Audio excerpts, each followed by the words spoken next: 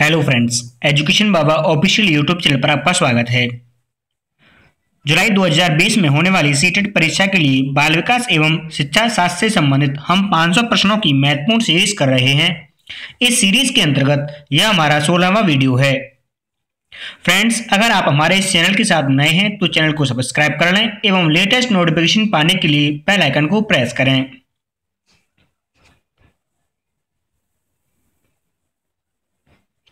आज का पहला प्रश्न है, निम्नलिखित में से कौन बुद्धि की परिभाषा नहीं है? यानी इनमें से कौन सी ऐसी परिभाषा है जो आपकी बुद्धि की परिभाषा नहीं है? पहला, बुद्धि कार्य करने की एक विधि है। दूसरा ऑप्शन है आपके सामने, बुद्धि ज्ञान अर्जन करने की क्षमता है। तीसरा है, जीवन की अपेक्षाकृत नवीन परिस्थितियों से अपना सामंजस्य करने की व्यक्ति की योग्यता ही बुद्धि है। अंतिम ऑप्शन है आपके सामने राजनीतिक, आर्थिक एवं सामाजिक शक्ति प्राप्त करने की प्रयुक्त युक्ति बुद्धि है। तो इसमें आपका फोर्थ ऑप्शन सही उत्तर हुआ, जो कि आपकी एक बुद्धि की परिभाषा नहीं है। यानी जो बुद्धि होती है, वह कार्य करने की विधि भी होती है, बुद्धि जो होती है, आपका ज्ञान अर्जन करने की क्षमता भी होती है, और अपनी नवीन परिस्थितियों में सामंजस्य करने की जो क्षमता होती है, उसे भी हम बुद्धि कहते हैं। लेकिन राजनीतिक, आर्थिक और सामाजिक रूप से शक्ति प्राप्त करने के लिए जो युक्ति यूज़ की जाती है, उसे हम बुद्धि नहीं कहेंगे तो इसमें आपका फोर्थ ऑप्शन सही उत्तर होगा।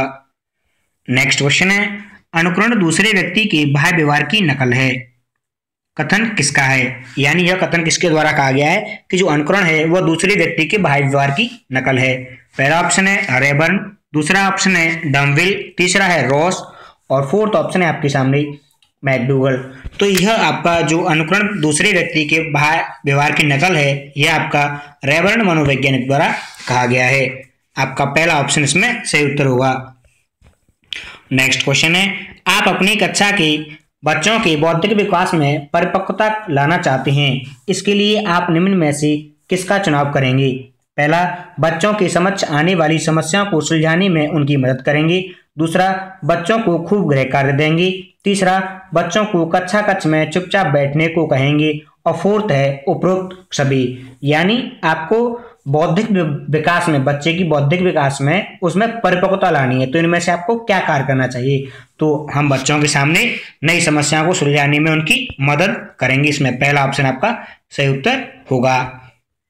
नेक्स्ट क्वेश्चन है, आपकी कक्षा का एक छात्र कक्षा में काफ़ी बात करता है। आप उसके विषय में पता करते हैं तथा पाते हैं कि वही छात्र अपने घर पर बहुत ही बात कम करता है। तो आप उस छात्र के विषय में निम्न में से क्या विचार देंगे?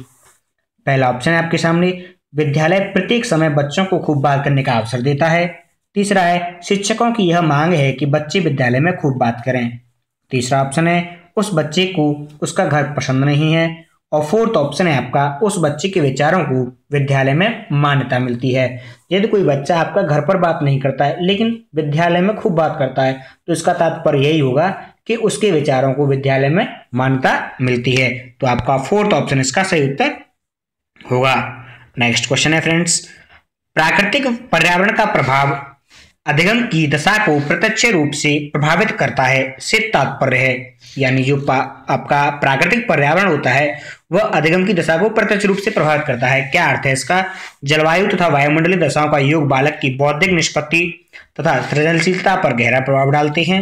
दूसरा, अधिक ताप तथा आंद्रता बालकों की मानसिक क्षमता के विकास का द्योतक है। तीसरा ऑप्शन है, जलवायु तथा वायुमंडलीय दशाओं के योग का प्रभाव बालकों की मानसिक क्षमता को प्रभावित नहीं करता है। और आपका लास्ट ऑप्शन है इनमें से कि उपरोक्त में से कोई नहीं। तो जो आपका प्राकृतिक पर्यावरण होता है, उसमें आपका पहला ऑप्शन इसके अंतर्गत सही उत्तर हुआ कि जो जो जलवायु और वायुमंडल दशाओं का जो योग होता है, वह बालक की बौद्धिक निष्पत्ति और सृजनशीलता पर प्रभाव डालता है। तो आपका जो प्राकृतिक पर्यावरण का अधिगम से जो तात्पर्य है, यहाँ पर यह होगा यानी जो जलवायु और आपका जो वायुमंडल की जो दशाएँ होती हैं, वह बालक के बौद्धिक निष्पत्ति और सृजनशीलता पर प्रभाव डालते हैं। नेक्स्ट क्वेश्चन है। आप अपनी कक्षा के एक पिछड़े छात्र में अधिगम की गति को तीव्र करना चाहते हैं, जिससे वह सामान्य छात्रों की श्रेणी में आ सकें। इसके लिए आप निम्न में से क्या उपाय अपनाएँगी? यानी कुछ बच्चे ऐसे छात्र हैं आपकी क्लास में जो अधिगम में पिछड़े हैं। या, और आप उनकी, अधिगम की गति है, उसको आप तीव्र करना चाहते हैं तो आप कौन सा उपाय अपनाएँगे? पहला ऑप्शन है आपके सामने। उत्तम शिक्षण विधियों का प्रयोग करते हुए उसे सही दिशा में प्रेरित करेंगे। नेक्स्ट है, उसके माता पिता से उसकी शिकायत कर देंगे। थर्ड है, उसको पूरी कक्षा के समक्ष दंडित करेंगे। और फोर्थ है, उपरोक्त सभी। तो यानी एक कक्षा का बच्चा है जो पिछड़े वर्ग का है, लेकिन हम उसकी अधिगम की गति को तीव्र करना चाहते हैं, यानी सामान्य बच्चों की श्रेणी में लाना चाहते हैं। तो इसके लिए हम उसके लिए शिक्षण, उत्तम जो शिक्षण विधियाँ हैं, उनका प्रयोग करेंगे और उसे सही दिशा में प्रेरित करेंगे। तो इसमें आपका पहला ऑप्शन, इसका सही उत्तर होगा। नेक्स्ट क्वेश्चन है। किसी बालक में संवेग आवश्यक है, क्योंकि बालक की संवेगात्मक अनुक्रिया है दूसरा, बालक की उद्दीपक अवस्था है, जो किसी उद्दीपक के संदर्भ में अनुक्रिया द्वारा व्यक्त की जाती है। फोर्थ है, बालक द्वारा किसी विशेष दशा में दिया गया प्रत्युत्तर है। और फोर्थ ऑप्शन है आपके सामने, बालक के असंगठित व्यवहार को प्रदर्शित करता है। तो जो संवेग होते हैं, वह बालक के किसी भी दशा में या किसी भी स्थिति में हो तो उस समय जो प्रत्युत्तर देता है, वह उसका संवेग होता है। इसमें तीसरा ऑप्शन इसका सही उत्तर होगा। नेक्स्ट क्वेश्चन नंबर एट है आपका। एक अध्यापक को अपनी शैक्षिक क्रियाओं के अभियोजन के समय जातीय भेदभाव के संदर्भ में अपनी शिक्षण प्रक्रिया में क्या अपनाना चाहिए? पहला, कठोरता। दूसरा, लचीलापन। तीसरा, न कठोरता नहीं लचीलापन। फोर्थ है, कठोरता व लचीलापन दोनों। तो एक जो अध्यापक है, उसे अपनी शिक्षक क्रियाओं के अभियोजन के समय जातीय भेदभाव के संदर्भ में हमेशा लचीलापन शिक्षण प्रक्रिया में अपनाना चाहिए। इसमें आपका दूसरा ऑप्शन सही उत्तर होगा। नेक्स्ट है फ्रेंड्स आपकी कक्षा में कुछ बच्चे शारीरिक रूप से निशक्त हैं, कुछ बच्चे मानसिक रूप से निशक्त हैं, तथा तो बाकी बच्चे सामान्य हैं। आपके अनुसार उन्हें कक्षा में बैठने की निम्न में से कौन सी व्यवस्था सर्वाधिक उपयुक्त होगी? पहला, बच्चों को कक्षा में ही बैठने की सुविधा प्रदान की जाए। दूसरा, शारीरिक रूप से निशक्त बच्चों को सबसे आगे बैठाया जाए। तीसरा, मानसिक रूप से निशक्त बच्चों को सबसे आगे बैठाया जाए। फोर्थ है आपका, सामान्य बच्चों के सबसे आगे बैठा जाए। तो आपके सामने ऑप्शन चार हैं। यानी जब कुछ निशक्त बच्चे हैं, कुछ आपके तो आप उसको कक्षा में बैठाने के लिए कौन सी व्यवस्था करेंगे? तो इसमें आपका पहला ऑप्शन सही होगा कि जो कक्षा जो कक्षा है, उसमें छात्रों को कहीं पर भी बैठने की उनको आज़ादी या सुविधा प्रदान की जाए। तो इसमें आपका क्वेश्चन नंबर नाइन का पहला ऑप्शन सही उत्तर होगा। नेक्स्ट है क्वेश्चन आपके लिए, बुद्धि के प्रतिदर्श सिद्धांत का प्रतिपादन निम्न में से किसने किया था? पहला ऑप्शन है आपके सामने थॉम्सन दूसरा ऑप्शन है स्पीयरमैन तीसरा ऑप्शन है थॉन्डाइक फोर्थ ऑप्शन है आपके सामने बिने यानी बुद्धि का प्रतिदर्श सिद्धांत का किसने प्रतिपादन किया है? तो जो आपके थॉम्सन मनोवैज्ञानिक हैं, उन्होंने बुद्धि के प्रतिदर्श सिद्धांत का प्रतिपादन किया है। पहला ऑप्शन इसका सही उत्तर होगा। नेक्स्ट है आपका वर्तमान समय में सतत एवं व्यापक मूल्यांकन के अंतर्गत ग्रेडों में अंकों का वितरण किया जाता है। इस प्रणाली में कितने प्रतिशत अंक प्राप्त करने वाले छात्र को बहुत अच्छा या बी ग्रेड के अंतर रखा जाता है? पहला ऑप्शन है आपका नब्बे से, यानी नाइन्टी से हंड्रेड परसेंट। दूसरा है फिफ्टी सिक्स परसेंट से seventy four percent seventy five से एट्टी नाइन परसेंट या थर्टी फाइव से फिफ्टी फाइव परसेंट। यानी आपसे पूछा गया है कि जो सतत एवं व्यापक मूल्यांकन होता है उसमें आपकी श्रेणियाँ बटी हुई हैं। तो आपके सामने कुछ नंबर्स दे रखे हैं तो उसके अंतर्गत बी ग्रेड के अंतर्गत कौन से मार्क्स आपके आएँगे? यानी कितनी परसेंटेज के अंतर्गत अंतर्गत वह बी ग्रेड का बच्चा होगा? तो वह आपका 56 से लेकर 74 तक परसेंट तक उस बच्चे के मार्क्स हैं तो वह आपका बी ग्रेड का बच्चा होगा। तो इसमें आपका दूसरा ऑप्शन सही उत्तर होगा। नेक्स्ट है, मूल्यांकन की क्रिया के दौरान शिक्षकों को काफ़ी सावधानी बरतने की आवश्यकता होती है। इस दौरान शिक्षकों को निम्नलिखित में से कौन सा कार्य नहीं करना चाहिए? पहला, प्रत्येक विद्यार्थी की अनुक्रिया के बारे में संवेदनशील होना। बच्चे की प्रगति के बारे में सूचना एकत्रित करना। शिक्षार्थियों के विभिन्न वर्गों में विभाजित कर उनके बीच तुलना करना और बच्चों की विभिन्न प्रकार की सूचनाओं को अभिलेखित करना, यानी मूल्यांकन प्रक्रिया के के समय, यानी एक शिक्षक है, उसको किस प्रकार की सावधानियाँ बरतनी चाहिए? तो इसमें आपका, देखिए कि जब एक शिक्षक मूल्यांकन कर रहा है तो उस समय बच्चे जो हैं, उनको वर्गों में विभाजित नहीं करना है और नहीं उनके बीच में तुलना कोई करनी है। तो इसमें आपका ऑप्शन नंबर तीसरा सही उत्तर होगा कि शिक्षार्थियों को विभिन्न विभिन्न वर्गों में विभाजित कर उन्हें के बीच तुलना न करना। तो यानी आपका जो एक शिक्षक को नहीं करना चाहिए, उसमें आपका तीसरा ऑप्शन सही उत्तर होगा। नेक्स्ट क्वेश्चन है, आप अपनी कक्षा में अपने शिक्षण के दौरान कड़ी मेहनत करते हैं, फिर भी आपकी कक्षा में काफ़ी शैक्षिक विभिन्नता दिखाई देती है।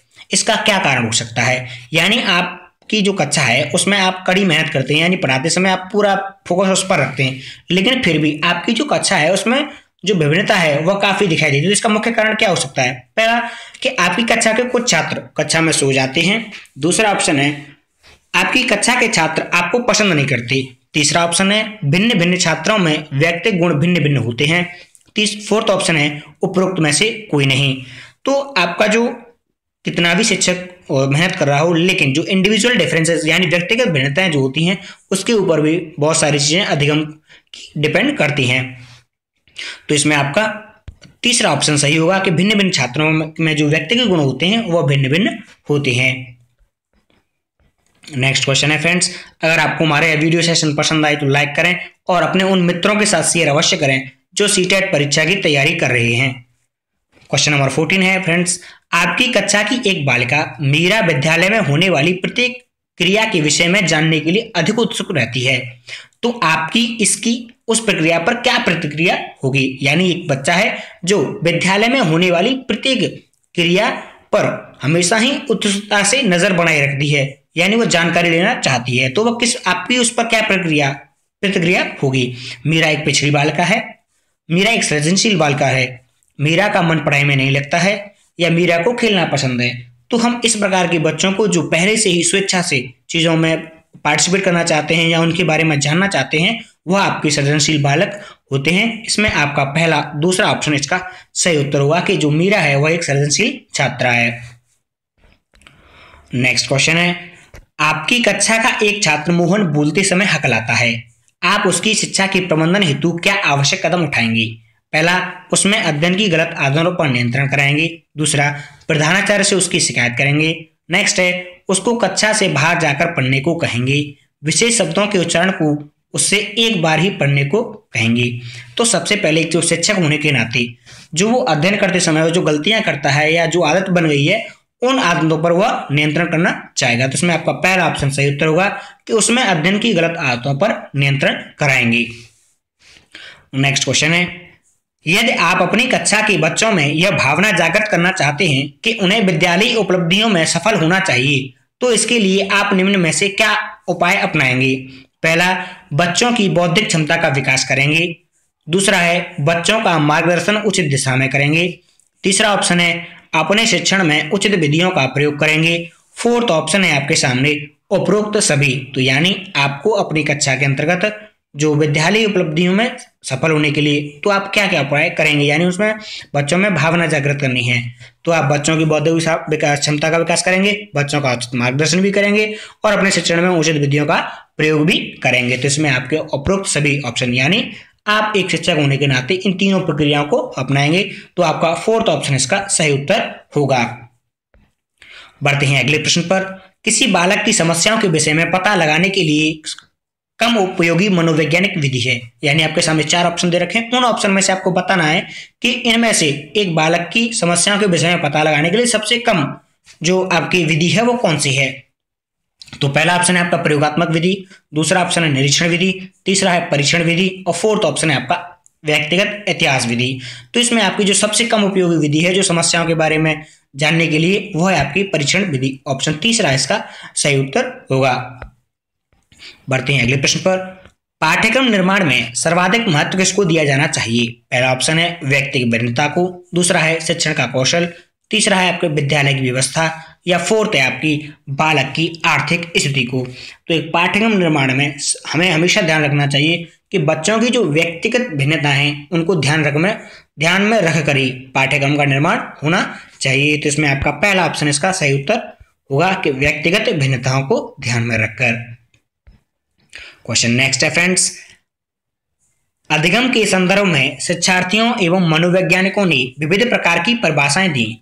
इन परिभाषाओं के अनुसार अधिगम चलने वाली निरंतर प्रक्रिया है। तो आपको इसमें से अधिगम के बारे में बताना है कि जीवन पर्यंत चलने वाली प्रक्रिया है, या किशोरावस्था तक चलने वाली प्रक्रिया है, या वृद्धावस्था तक चलने वाली प्रक्रिया है, या युवास्थावस्था तक चलने वाली प्रक्रिया है। तो आपका जो अधिगम है, वह आपकी जीवन पर्यंत चलने वाली प्रक्रिया है। इसमें पहला ऑप्शन आपका सही उत्तर होगा। नेक्स्ट क्वेश्चन है, बालक अपने चारों ओर जिन वस्तुओं और परिस्थितियों को देखकर जो चिंतन करता है, वह होता है। यानी एक बच्चा है, वह बच्चा अपने आसपास की चीज़ों को देखकर वह चिंतन करता है। तो वह किस प्रकार का चिंतन है आपका? पहला, तार्किक चिंतन। दूसरा, प्रत्यात्मक चिंतन। तीसरा, आपके सामने ऑप्शन है, प्रत्यक्षात्मक चिंतन या फोर्थ है, कल्पनात्मक चिंतन। जब बच्चा सामने उपस्थित चीज़ों को देखकर कल्पना कर रहा है या चिंतन कर रहा है तो उस प्रकार का चिंतन जो होता है, वो आपका प्रत्यक्षात्मक चिंतन कहलाता है। यानी जो सामने चीज़ों से को दिखाई दे रही है उसके आधार पर वह उन चीज़ों के बारे में चिंतन कर रहा है। ऑप्शन तीसरा इसका सही उत्तर होगा। नेक्स्ट क्वेश्चन है फ्रेंड्स आपकी कक्षा में बच्चों के समाजीकरण में आपकी भूमिका है। पहला ऑप्शन है बच्चों का बौद्धिक विकास करने में। फोर्थ दूसरा ऑप्शन है बच्चों का गृह कार्य करने में। तीसरा है, बच्चों को दंड देने में, और फोर्थ ऑप्शन है आपके सामने, उपरोक्त में से कोई नहीं। यानी जो समाजीकरण है, उसमें सबसे पहले आपकी क्या भूमिका रहेगी? तो हमारा जो मेन मोटिव जो रहेगा, हम बच्चों का कैसे बौद्धिक विकास करें? तो इसमें आपका पहला ऑप्शन सही उत्तर होगा कि बच्चों का बौद्धिक विकास करने में। नेक्स्ट क्वेश्चन है फ्रेंड्स बालकों के नैतिक विकास को समझाने के लिए जीन प्याजी ने निम्न में से कौन सी विधि को अपनाया? तो जीन प्याजी ने जो नैतिक विकास को समझाने के लिए कौन सी विधि को अपनाया था? इसमें आपका सबसे पहला ऑप्शन है साक्षात्कार विधि, दूसरा ऑप्शन है आपके सामने तार्किक विधि, तीसरा है जाँच पड़ताल विधि और फोर्थ ऑप्शन है आपके सामने ये सभी। तो जो जीन पे प्याजी थे, उन्होंने जो आपके बालकों में नैतिक विकास को समझने के लिए या उसको मापने के लिए जो उन्होंने विधि अपनाई थी वह आपकी साक्षात्कार विधि थी। तो इसमें पहला ऑप्शन इसका सही उत्तर होगा। नेक्स्ट है फ्रेंड्स मैं कौन हूँ, मैं क्या हूँ? मैं कुछ भी, मैं भी कुछ हूँ। आदि ऐसी प्रबल भावनाएँ विकसित किस अवस्था की ओर इंगित होती हैं? यानी वह कौन सी अवस्था है जिसमें बच्चा, आपका मैं कौन हूँ, क्या हूँ, मैं भी कुछ हूँ, इस प्रकार की भावनाएँ उसमें प्रबल होती हैं। तो पहला ऑप्शन है किशोरावस्था दूसरा ऑप्शन है आपका पूर्णावस्था तीसरा है पूर्व बाल्यावस्था फोर्थ ऑप्शन है बाल्यावस्था। तो एक किशोरावस्था के अंतर्गत जब एक बच्चा किशोरावस्था में पहुँचता है तो उसके अंतर्गत इस प्रकार की भावनाएँ आती हैं कि मैं कौन हूँ, क्या हूँ, और मैं भी कुछ हूँ इस समाज में। तो इसमें आपका पहला ऑप्शन इसका सही उत्तर होगा, किशोरावस्था। नेक्स्ट है फ्रेंड्स बच्चे की आरंभिक शिक्षा के अंतर्गत उसे सर्वप्रथम किस विषय की शिक्षा प्रदान की जानी चाहिए? पहला भाषा, दूसरा विज्ञान, तीसरा ऑप्शन है गणित फोर्थ है धर्म। यानी बच्चे की आरंभिक शिक्षा, जब बच्चे की प्रारंभिक शिक्षा शुरुआत होती है तो उस समय बच्चे को किस प्रकार की जो विषय होनी चाहिए, वो पढ़ानी जानी चाहिए, यानी किस प्रकार के विषयों की शिक्षा दी जानी चाहिए। तो सबसे पहले बच्चे को हम उसे भाषा के बारे में जानकारी देंगे, यानी उसे सबसे पहले हम भाषा पढ़ाएँगे। तो इसमें आपका पहला ऑप्शन सही होगा कि भाषा की शिक्षा दी जानी चाहिए। नेक्स्ट है, अच्छी शिक्षा का उद्देश्य निम्नलिखित में से क्या होना चाहिए? पहला ऑप्शन है सृजनात्मक सक्रियता में विश्वास करना। नेक्स्ट है, अपने जीवन को अधिक सुंदर तथा सुव्यवस्थित बनाना। थर्ड है, जीवन के नए मूल्यों, नए विचारों व परिवर्तनों का स्वागत करना। और फोर्थ है, सभी धर्म व जाति वालों के साथ समानता का व्यवहार करना। यानी एक अच्छा जो शिक्षक है, उसके उद्देश्य में क्या होना चाहिए? तो आपका सबसे जो, आपके पॉइंट सभी ठीक हैं, लेकिन जो सबसे इंपोर्टेंट पॉइंट है वो आपका जीवन के नए मूल्यों, नए विचारों व परिवर्तनों का स्वागत करना। तो इसमें आपका ऑप्शन तीसरा इसका सही उत्तर होगा कि जो भी मान लीजिए कि अब परिवर्तन समाज में होते रहते हैं तो उसके अनुसार जो विचार नए आते हैं तो उन सभी का उसको उसी के अनुसार से ढलना चाहिए। तो इसमें आपका ऑप्शन तीसरा सही उत्तर होगा। नेक्स्ट क्वेश्चन है, बाल केंद्रित शिक्षा में पाठ्यक्रम का स्वरूप नहीं होना चाहिए। पहला लचीला, दूसरा आर्थिक आवश्यकताओं के अनुसार दूसरा, तीसरा ऑप्शन है पूर्व ज्ञान के आधारित आधारित। फोर्थ है वातावरण के अनुकूल। तो जो आपका बाल केंद्र शिक्षा में पाठ्यक्रम जो होना चाहिए, वो किस प्रकार का नहीं होना चाहिए? तो वह बच्चों की जो आर्थिक स्थिति होती है या आर्थिक आवश्यकताएँ होती हैं, उसके आधार पर नहीं होना चाहिए। इसमें आपका ऑप्शन नंबर दूसरा सही उत्तर होगा। नेक्स्ट है फ्रेंड्स कोहल वर्ग के अनुसार नैतिक विकास का प्रथम चरण है। यानी जो नैतिक विकास का सिद्धांत दिया गया कौहलबर्ग द्वारा, उसमें पहली जो अवस्था होती है वो कौन सी होती है? दंड एवं आज्ञा पालन की अभिमुखता। दूसरा है परस्पर एक रूप अभिमुखता। तीसरा है आपका अधिकांश संरचना अभिमुखता। फोर्थ है सार्वभौमिक नैतिक सिद्धांत की अभिमुखता। तो इसमें आपका जो दंड एवं आज्ञा पालन की अभिमुखता जो होती है वो नैतिक विकास सिद्धांत के अंतर्गत जो कॉलबर्ग द्वारा दिया गया है, उसमें पहली अवस्था या प्रथम चरण उसको कहते हैं। तो इसमें आपका ऑप्शन फ़र्स्ट इसका सही उत्तर होगा। नेक्स्ट है आपका। आपकी कक्षा में एक शिक्षार्थी टीईएन को एनईटी तथा एस ए डब्ल्यू सौ को वास पढ़ता है। तो वह ग्रस्त है, यानी एक बच्चा कोई शब्दों में जो है, वो शब्दों को ठीक से न पढ़कर उनका दूसरा तात्पर्य निकालकर पढ़ता है। तो वह किस प्रकार की बीमारी से पीड़ित है? पहला ऑप्शन है डिस्कैलकुलिया तीसरा दूसरा ऑप्शन अफेजिया, तीसरा है डिस्क्लेसिया, फोर्थ ऑप्शन है अग्रेफिया। तो इसमें जो बच्चा अगर आपके शब्दों को, जैसे बी को डी पढ़ने जाए, पढ़े तो यह जो बीमारी होती है वह आपकी डिसलेक्सिया के अंतर्गत आती है, यानी वह डिसलेक्सिया विकार से पीड़ित होता है। इसमें तीसरा ऑप्शन आपका सही उत्तर होगा। नेक्स्ट है फ्रेंड्स आपकी कक्षा में कुछ छात्रों की दृष्टि कमज़ोर है और पढ़ने में भी भी कमज़ोर हैं। वे आपसे निवेदन करते हैं कि वे श्यामपट पर देख नहीं पाते तो उन्हें आगे बैठने की अनुमति दी जाए।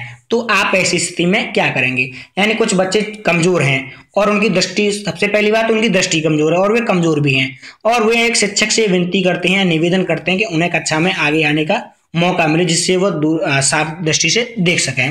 तो इसमें आपके सामने ऑप्शन दे रखे पहला, उन्हें डांट देंगे कि पढ़ने में तो मन लगता नहीं और आगे बैठना चाहते हो। दूसरा है, उन्हें चश्मा प्रयोग करने की सलाह देंगे। तीसरा है, उनकी इच्छा अनुसार उन्हें आगे बैठा देंगे, जिससे वे श्याम पट पर लिखित सामग्री को देख सकें। फोर्थ ऑप्शन है, उनके लिए अलग कक्ष की व्यवस्था का सुझाव देंगे। तो इसमें आपका तीसरा ऑप्शन सही उत्तर होगा कि जो बच्चे हैं, जो बच्चे चाहते हैं जहाँ पर बैठकर वह देख सकें आसानी से, उस जगह पर उनको बैठने की सुविधा प्रदान की जाएगी, जिससे वह श्याम पर के पास बैठकर और जो लिखित सामग्री है उसको देख सकें। तो इसमें आपका तीसरा ऑप्शन सही उत्तर होगा। उनकी इच्छा अनुसार उन्हें आगे बैठने देंगे, जिससे वे श्याम पर लिखित सामग्री देख सकें।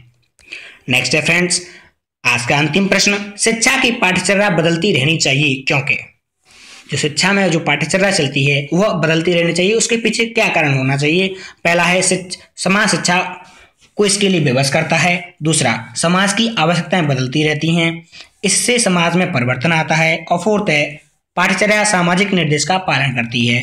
तो इसमें आपका दूसरा ऑप्शन बिल्कुल सही उत्तर होगा कि जो समाज की आवश्यकताएँ होती हैं वह समस्या आपकी सब जो आवश्यकताएँ होती हैं, वो बदलती रहती हैं। तो उसी के अनुसार जो शिक्षा की पाठ्यचर्या होती है, उसको भी बदलते रहना चाहिए।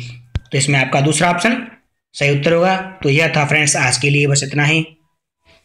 अगर आपको हमारा यह वीडियो सेशन पसंद आए तो लाइक करें और उन मित्रों के साथ शेयर अवश्य करें जो सीटेड परीक्षा की तैयारी कर रहे हैं। यह आपके साथ साथ उन मित्रों के लिए भी लाभकारी होंगी। Thank you for watching